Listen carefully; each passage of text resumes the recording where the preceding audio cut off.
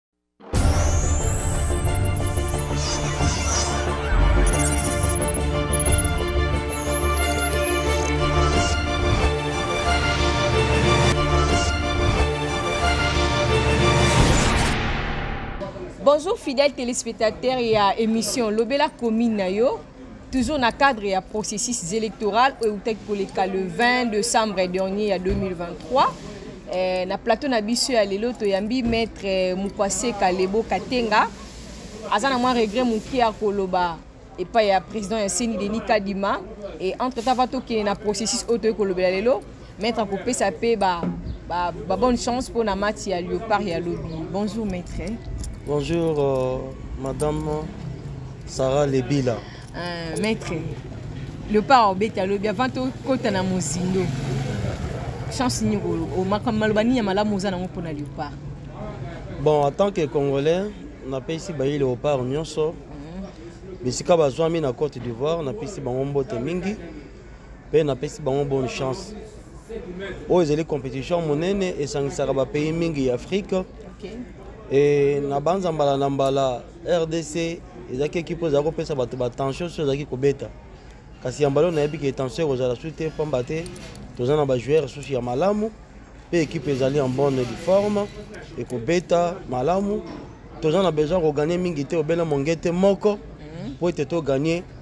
les trois premiers points yango nde ezalaka important mpo ete tokende na phase na deuxième phase ya, ya élimination ya éliminatoire ya direct voilà eh, merci élimination direct maître merci okoki kosi présente apo tokota na makambo toyebi bon je nabanza ntango obandaki émission so opresentaki ngai nde namonaki ntina susu ya kosala présentation te mhm. en dehors ya casquette obengeli nga maître nazali mpe secrétaire général assurant euh, de fonction ya secrétaire général ya G4 oyo babengi parti politique génération 4 okay. nazali candidat député national awa na funa nazalaki bongo na numero 21 joka bato nyonso ya funa bayebi numero 21 oyo bandeko babengaki likofi ya funa okay. epuis napostaki na compte ya desa tdc oyo ezali regroupement monene oyo elongi badepute ebele na mboka na biso wana mpe na bokuse oyo nakoki koloba na motuna na oyo ya liboso merci maître obengi biso awa mpo na nini bon ya liboso nabengi nano bino baye mm. bapanzi sango okay. ezali ya kopesa nano merci na baelecteur na ngai nyonso ya funa bandeko na ngai nyonso ya bumbu ya ngerengeri communauté ya bumbu communauté ya kingabwa esika wapi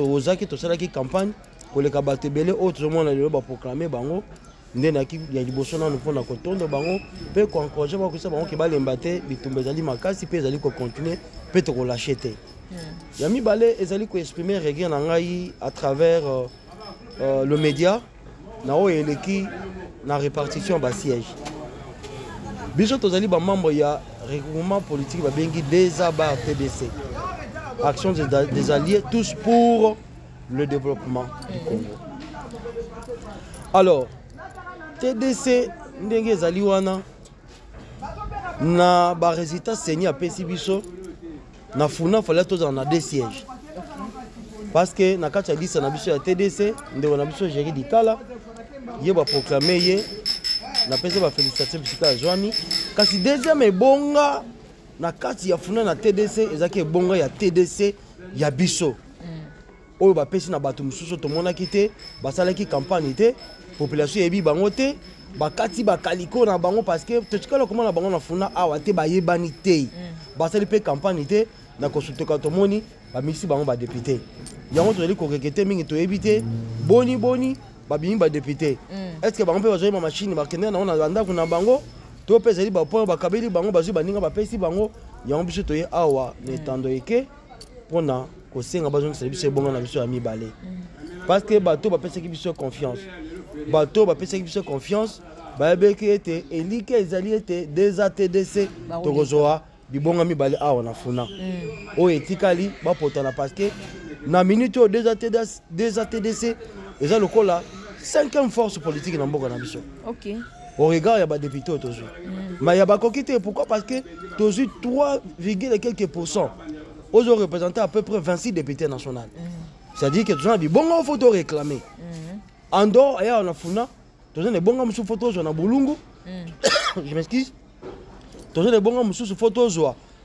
na kazumba mm. toza na ebonga mosusu mpo tozwa na kabambare mm. toza na ebonga mosusu mpo tozwa na lwilu ko esika kutu desordre ezalaki makasi kuna seni na kanisaki oyo asanctionne asanctionnaki te mm. toza na besoin ya kozwa ebonga mosusu na idiofa esika honorable teo kinkutu aposelaki parce que mosali esalamaki makasi mm. tala bisika nyonso wana oyo oh, g4 a travaille à travers td desa bar tdc mais bakamati bafini biso bakangi biso monoko yango naye kosenga na bandeko ete balemba te parceke nzela oyo toponi mpo na korevendike mm.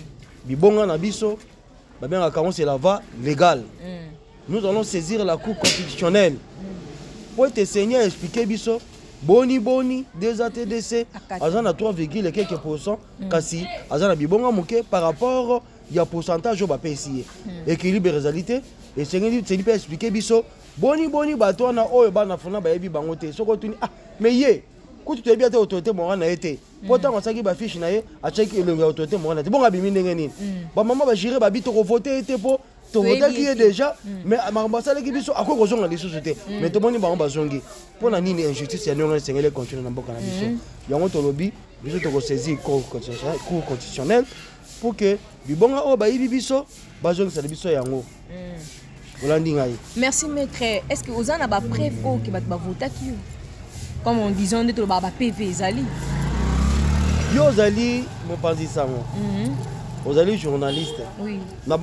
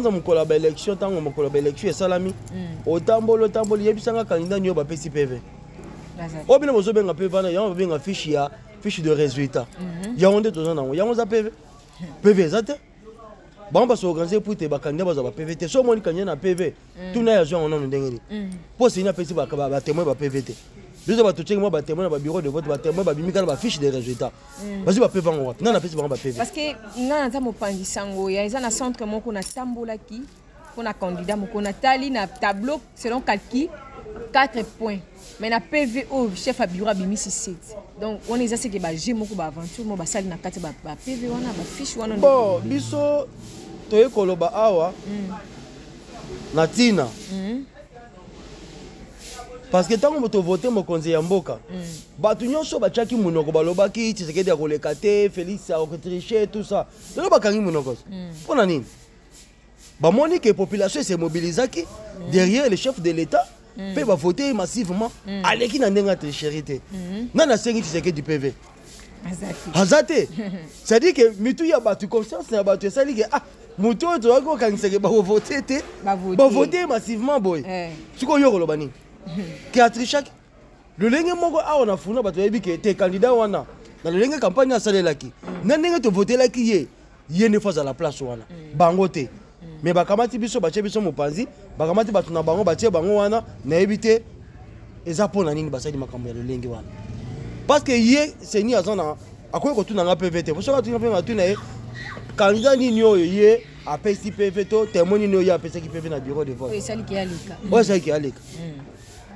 ozali nga malamu tozali na bafiche de résultat yango nte tokotiango na kati ya farde tokokende kolakisana cour constitutionnel ke tala omoni ndeti na centre awa moto oyo bino bobimisi wana abimi na une voix mm. mais biso awa tobimi na autant de voix mm. et puis je vais rappeler encore une autre chose tu sais que taux de participation na, na législative nationale ezalaki un peu faible oui, oui. olandinga malamu mm. c'est ce qui a fait qu'aujourd'hui ne soyez pas étonné de voir un candidat qui y est proclamé député avec moins de 2000 voix hmm. c'est par rapport ya taux de participation alors yebisa ngai sikoyo ntango ozotuna ngai pv pendant ke yo oza na machine na yo ya vote bato bavotaki bapoint bavoi ekoti na kati ya mashine na yo opesi badepute ba pv te opesi batemoin ba pv te oyo akosenga nga pv yo nde fo démontre kalikini yo osali mpo te 2 a tdc faka azala na 26 député bobimisi na 21 député mm. ndeko wana toyebi ye na funa awa te afandaka na biso ata ayebi mpasi ya bana na funa te mm. boyimisi ye nao ndenge nini mm. mpe awuti wapi mpo afandaka na biso awa te mboka eza mboka na biso toya kotika motu te oui, oui, maître. Euh, maître est ce que na, na funa mobimba na district ya funa otyaki batémoin na bacentre mpo batémoin mpe baza moko mpe baoyo basalaki basali mpe bacandidat mpe baresu ndeko sara oui. je peux vous dire eye na bakanisa mosusu na funa awa mm. batiaki 5 mille témoin mm. olandi nga malamu mm. koleka na biso baoyo oyo ah, eh? mais baza te na peve moko te mm. epuis batémoin na bamosusu baza kobengana na bango na bureau de vote si oteli bakota nano na baréseau sociaux mm. okomona badéclaration batémoin mm. ke biso toya babengani biso bayi bokokota awa te eh. likambo kutu ya tema kobeta lisolo na yango te parce que calcul eza simple olandi nga malamu le calcul est très simple bango baya koexplike biso ndenge nini basali calcul mpo oyemisa bato wana basalaki campagne te oyo population afuna bavotaki bango te mm. c'est ça notre souci bafille de résultat tokomemela bango bakomona ke na bafiche oyo toya nango ezala 100 ezala 200 bato wana baza na bavoi te ezala na selembao parce que biso tozwi bavoi na selembao tozwi bavoi na bumbu tozwi bavoi na makala tozwi bavoi na kalamu tozwi bavoi na kasabubu na bandalungwa mm.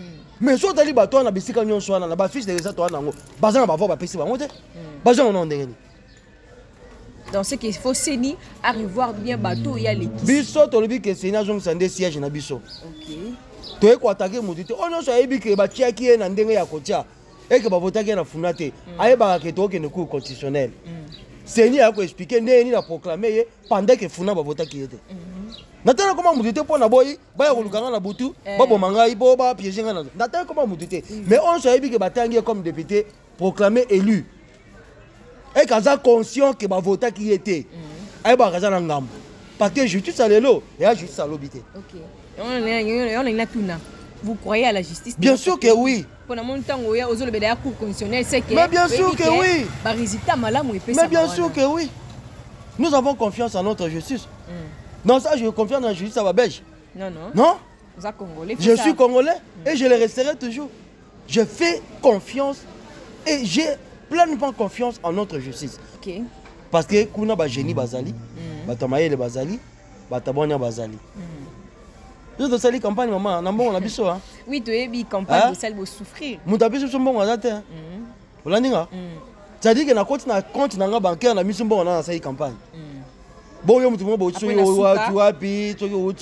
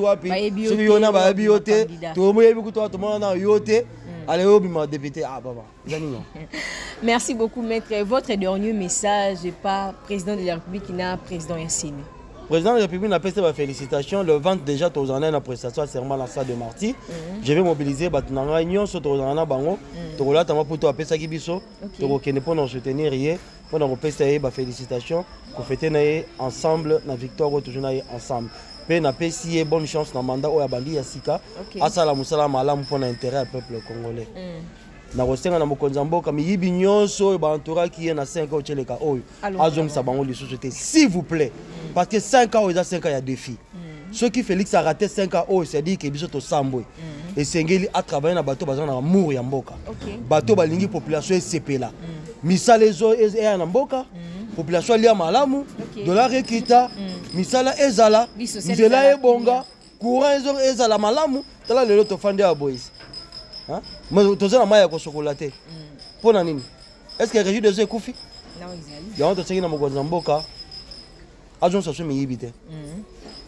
atya bato baza na bolingo ya solo ya mboka mm. soki ezali na bato oyo aremerciaki 5 ans passé batika mbalo atika bango atia bato oyo bamoni ke baza na susi na ye bakosunga ye mpo ete mboka na biso ekende liboso mboka eza ya biso mm. toa na susi na yango tolingi mboka na biso ebonga basi koma basekaka biso kaka tu mama rdc boza ba riche boza na richesse ebele me tala bapopulation baza pauvre tolingi langage yango fo échange na 5 ans oyo ata soki akomisa rdc paradis te mm. mais du moins atika mboka na biso na rai mpo ete oyo akoya après 2028 ye akuta pays eza na rai akuta pays eza sur le chemin mm. pour que développement ya solo mpenza mbongo na ya solo mm. ekota na mboka na biso mpo na kosukisa nalobi ke na bana nyonso ya funa bobanga te avenir na biso eza nano molai mm.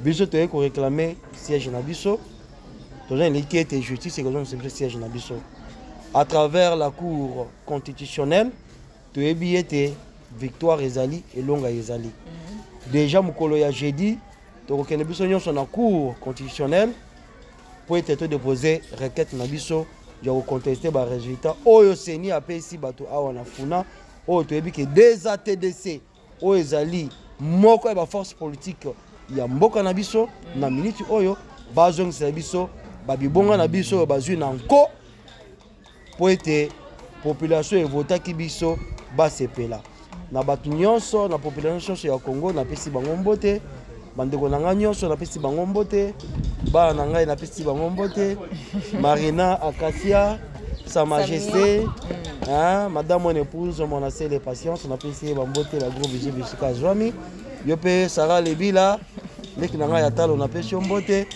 sans oublier mamani kulutu napesi ye mbote Diogo Miyayo, bandeko nyonso ya Bosobolo, merci beaucoup.